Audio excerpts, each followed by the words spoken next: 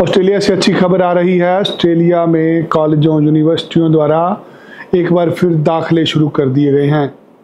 पिछले एक साल से वीज़ा रुके हुए थे। बच्चों को दाखिले नहीं हो रहे थे। जीटी क्लियर नहीं हो रहा था। गैप के कारण, नंबर के कारण बहुत सारे बच्चों को मना किया जा रहा था। सरकार ने जितना भी कानून सख्त करना था, कर दिया। 700 डॉलर एम्बेसी फ़ीस से 1600 डॉलर कर दी गई। आपको पता है एक लाख रुपया अम्बेसी की फ़ीस ही है। सिर्फ़ वीज़ा एप्लीकेशन की फ़ीस एक लाख रुपए कर दी गई है।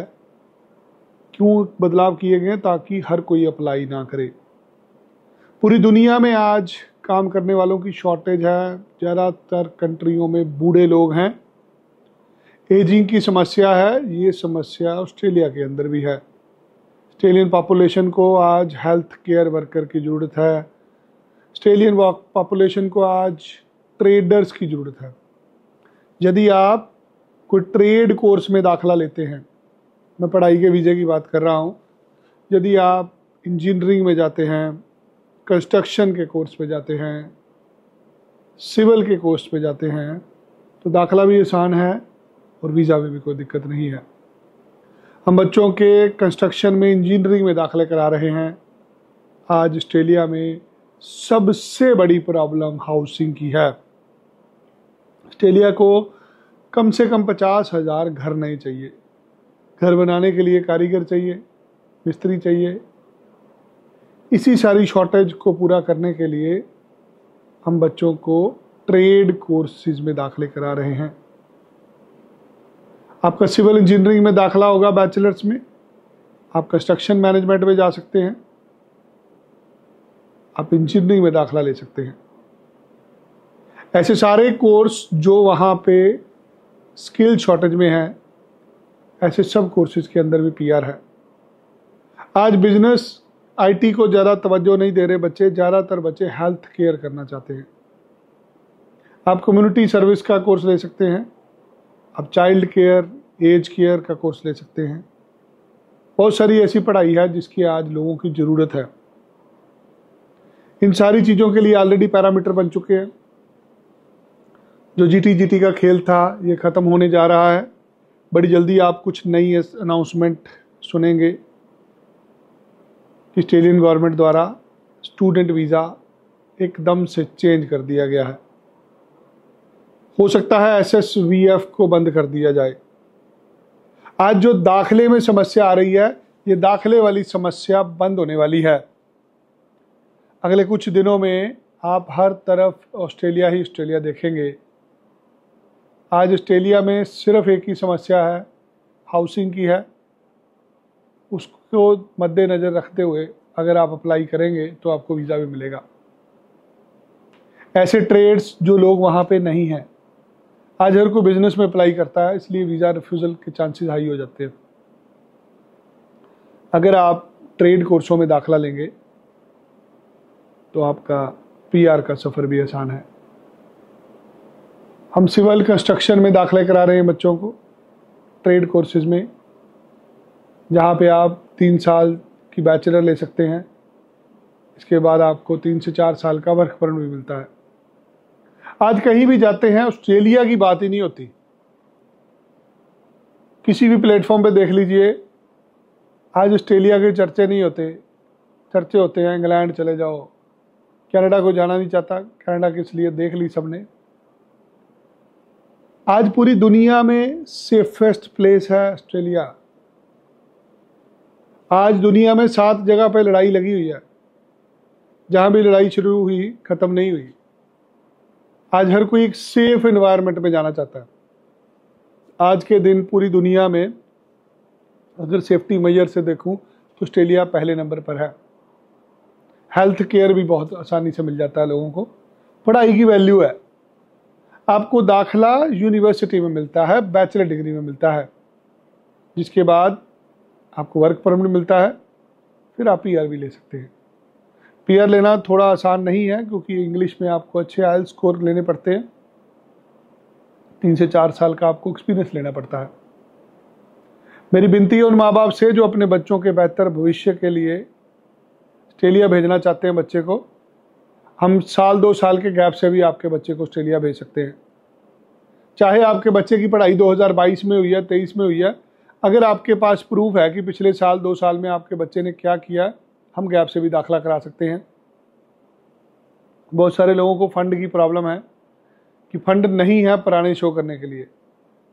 अगर आपके पास फंड है ही नहीं, फिर आपको वीज़ा नहीं मिलना। अगर आप नए फंड शो कर सकते हैं सोर्स के साथ हम नए फंड पे भी आपकी एप्लीकेशन लेने के लिए तैयार हैं। एक जीटी जीटी का खेल होता है जो ज़्यादातर लोग हार जाते हैं। यहाँ पे किसी तरह की कोई जीटी नहीं होगी आपकी।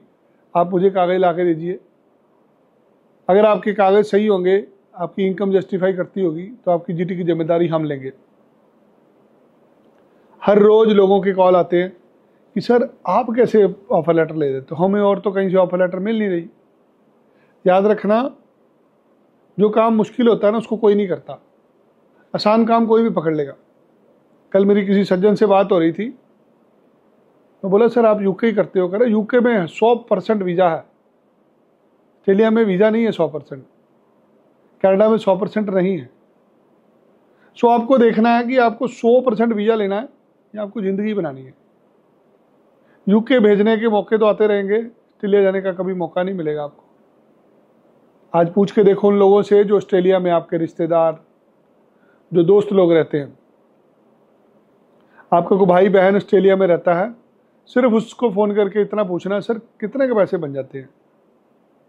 अगर कोई भी आपको बोले ना, मैं पाँच लाख रुपए से कम कमाता हूँ, फिर मेरे से बात करना आगे। एक अच्छी ज़िंदगी जी रहे हैं लोग ऑस्ट्रेलिया में। वैल्यू है इंसान की वहाँ पे। अच्छी गाड़ी चला लेंगे वहाँ जाके अच्छा फ़ोन यूज़ कर लेंगे। आपका लाइफस्टाइल बेहतर हो जाएगा। आप भाई बहन को भी संभाल पाएँगे माँ बाप का इलाज भी करा पाएँगे। कहीं गलती से यूके चले गए, कनाडा चले गए तो वहीं के होकर रह जाएँगे। ना तो आप खुद का ही कुछ नहीं कर सके, आप किसी को क्या सपोर्ट करोगे? आज कनाडा में सिटीजन बनने के बाद भी लोग ऑस्ट्रेलिया जाना चाहते हैं। जो ऑस्ट्रेलिया में स्टूडेंट है वो कनाडा के सिटीजन से ज़्यादा पैसे कमा लेता है। आप भी चाहते हैं कि आपको एक अच्छी लाइफ मिले, आपको ऑस्ट्रेलिया में अप्लाई करना है। हम नवंबर इंटेक अप्लाई करा रहे हैं उन बच्चों को, जिनके आयल्स में छः बैंड है पीटी में पचास नंबर है। बारहवीं में अच्छे नंबर होने चाहिए आपके। आपके माता पिता के पास बीस पच्चीस लाख रुपए शो करने के लिए हो। घर में जितने जन हैं, सबके पैन कार्ड बने होंगे, सबकी एक एक रिटर्न बना के दे दो हमें। कुछ चीज़ें होती हैं जो एविडेंस होता है। आज इनकम टैक्स की रिटर्न से ऊपर कोई एविडेंस नहीं है इनकम का। अगर आप भारत में रहते हैं, आप इनकम टैक्स की रिटर्न देते हैं दैट सफिशेंट बहुत सारे लोग आपको बोलेंगे, जो, आप जीएसटी लेकर लेके आइए। आपके माता पिता का बिज़नेस का प्रूफ नहीं है, वो एग्रीकल्चर है। याद रखो, अगर किसी ने तुम्हें मना करना है ना, फिर तुम्हारे अंदर गलतियाँ निकालनी शुरू कर देगा। हम ये देखते हैं कि हमारे पास क्या रीजन है जिससे हम वीज़ा ले सकते हैं। अगर आपको ऑस्ट्रेलिया जाना ना फ़ोन करने से कुछ नहीं होगा। लोग हर रोज कंप्लेंट करते हैं, सर, मैंने फ़ोन किया व्हाट्सएप किया, मुझे जवाब नहीं आया, मुझे मना कर दिया। वीज़ा मैंने प्रोसेस करना है। आपने जाना है। आपको वीज़ा के लिए मेरे पास आना पड़ेगा, मेरे से काउंसलिंग लेनी पड़ेगी। हर बच्चा एक समान नहीं होता।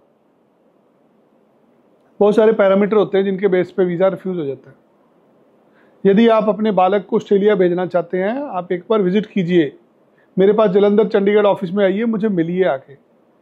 मैं आपके कागज़ देख के, आपकी ट्रैवल हिस्ट्री देख के, आपके कागज़, सारे इनकम के डॉक्यूमेंट फंड के कागज़ देख के आपको बताऊँगा, पाऊँगा आपको कौन से कोर्स में, कौन से कॉलेज में दाखिला मिल सकता है। ज़्यादातर लोग सुबह शाम परेशान हो रहे हैं। किसी भी एजेंट के पास जाते हैं, ऑस्ट्रेलिया जाने के लिए, वो कह रहा, नहीं, आओ जी यूके भेज देते हैं। कनेडा चले जाओ जी। ऑस्ट्रेलिया की बात क्यों नहीं होती? क्योंकि मूर बहुत खट्टे होते हैं। हर किसी के बस का नहीं है। जहाँ से आपने आइल्स करी, पीटी करी, वो आपकी कनाडा की फ़ाइल लगा देगा यूके भेज देगा। ऑस्ट्रेलिया की फ़ाइल नहीं को पकड़ेगा।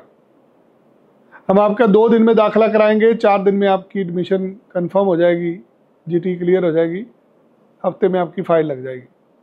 दाखला मेलबर्न, सिडनी में हो रहा है, बैचलर या मास्टर्स में हो रहा है।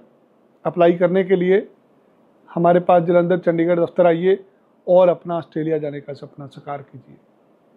जल्दी मिलते हैं कुछ नई इन्फॉर्मेशन के लिए। आप कुछ अलग से जानना चाहते हैं, हमें कमेंट करिए। स्क्रीन पर दिए गए ईमेल आईडी पर हमें मेल करिए या व्हाट्सएप पर आप दी आपकी प्रॉब्लम्स हमें लिखिए। जल्दी मिलते हैं। धन्यवाद। जय श्री राम।